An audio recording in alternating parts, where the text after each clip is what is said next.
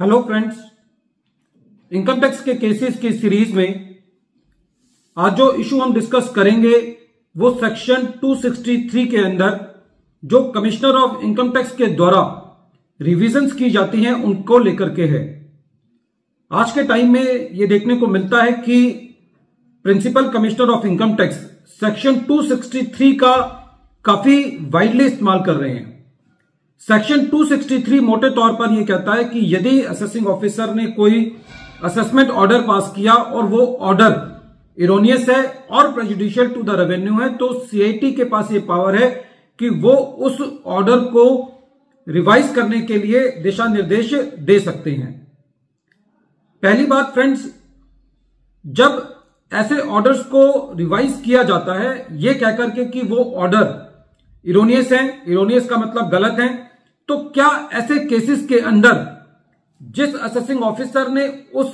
गलत ऑर्डर को पास किया है, क्या उनके ऊपर भी कोई एक्शन होना चाहिए? क्या असेसी को खाली इस पैरिल पर छोड़ा जा सकता है कि असेसिंग ऑफिसर ने कोई ऑर्डर पास किया और वो ऑर्डर जो है वो गलत है, अब कमिश्नर उसको रिवाइज कर देता है? तो बिना ऐसा कोई प्रावधान हुए बिना कि असेसिंग ऑफिसर के ऑर्डर को रिवाइज किया जा रहा है और उसका ऊपर कोई एक्शन नहीं लिया जा रहा तो इसी स्टेज पर सेक्शन 263 का प्रोविज़न जो है, वो एसएससी के लिए अनजस्ट है। प्रेजेंट केस में principal commissioner of income tax ने एक रिवीजन के लिए असेसिंग ऑफिसर को गाइडलाइंस दी और इस केस के अंदर जब ट्रिब्यूनल का यह कहना था कि जो रिवीजन किया गया, वो एज पर लॉ नहीं है केस बहुत इंपॉर्टेंट है। केस का नाम है वेनरिएबल advertising private limited versus principal commissioner of income tax और ये case 109 ITR tribunal short notes 80 one पर रिपोर्ट हुआ। मैटर कोलकाता आईटीएटी की बी बेंच ने डिसाइड किया और इस केस का जजमेंट 16 जनवरी 2024 को आया। 263 की रिवीजन के लिए जो मेन लिम्ब है सेक्शन 263 का वो ये कहता है कि ऑर्डर इरोनियस होना चाहिए और प्रेजुडिशियल टू द रेवेन्यू होना चाहिए। तो किन परिस्थितियों के अंदर एक ऑर्डर को गलत माना जाएगा? इसके लिए फाइनेंस एक्ट 2015 के द्वारा 1 जून 2015 से ये प्रोविज़न लाया गया कि यदि कोई असेसमेंट ऑर्डर बिना किसी इंक्वायरी के पास किया जाता है या असेसी को कोई क्लेम दिया जाता है जिसमें असेसिंग ऑफिसर ने कोई इंक्वायरी नहीं की या कोई असेसमेंट ऑर्डर पास किया जाता है, जिसके अंदर जो central board of direct taxes का यदि कोई ऑर्डर है या इंस्ट्रक्शन है या कोई गाइडलाइन है, उसको फॉलो नहीं किया गया तो ऐसी परिस्थिति के अंदर उस ऑर्डर को इरोनियस कहा जा सकता है, जहाँ तक वो order prejudicial to the revenue है। तो कहने का मतलब यह है कि जो फाइनेंस एक्ट 2015 के द्वारा बदलाव लाया गया, उसके अंदर इंक्वायरी के ऊपर ज़ोर दिया गया कि असेसिंग ऑफिसर ने कोई क्लेम दे दिया या कोई ऑर्डर पास कर दिया जिसके अंदर उसने इंक्वायरी नहीं की।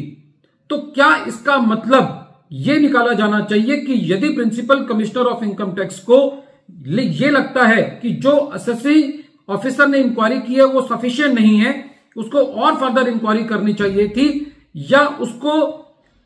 किसी मैटर को किसी और एंगल से एग्जामिन किया जाना चाहिए था तो क्या इस आधार पर भी उस ऑर्डर को इरोनियस कहा जा सकता है? तो ट्रिब्यूनल का यह कहना था कि खाली यदि सीआईटी एक ऐसी धारणा बनाते हैं कि जो असेसिंग ऑफिसर ने इंक्वायरी की है, वो सफिशियंट नहीं है, उसको कोई और इंक्वायरी करनी चाहिए थी या उसको किसी इशू को किसी और एंगल से देखा जाना चाहिए था, यदि ऐसी power unbridled powers commissioner of income tax को दे दी जाएँगी तो इससे कभी भी लिटिगेशन खत्म नहीं होगी और असेसमेंट को फाइनलिटी नहीं मिलेगी। ट्रिब्यूनल का यह भी कहना था कि यदि असेसमेंट ऑर्डर डिटेल्ड नहीं है तो यह नहीं कहा जा सकता कि असेसिंग ऑफिसर ने इंक्वायरी नहीं की। यदि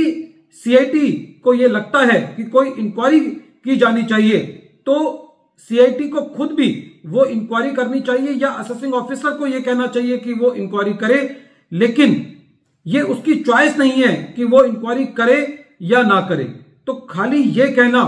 कि असेसिंग ऑफिसर को फर्दर इंक्वायरी करनी चाहिए थी या किसी इशू को किसी और एंगल से देखा जाना चाहिए था तो ऐसे केसेस के अंदर 263 की पावर का यूज़ करके उस असेसमेंट ऑर्डर को erroneous as as to the prejudicial to the revenue नहीं कहा जा सकता। फ्रेंड्स ये केस बहुत इंपॉर्टेंट है। जहाँ तक कि सेक्शन 263 के प्रोविजंस का सवाल है, इस केस के अंदर ये पता चलता है कि एक ऑर्डर को